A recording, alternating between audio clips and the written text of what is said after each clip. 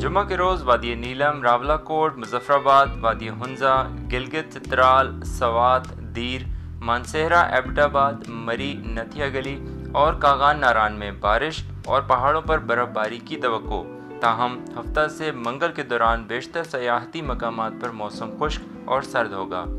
ज़्यारत और उससे मलिका इलाकों में आइंदा चंद रोज़ तक मौसम बदस्तूर, खुश्क और सर्द ही रहेगा।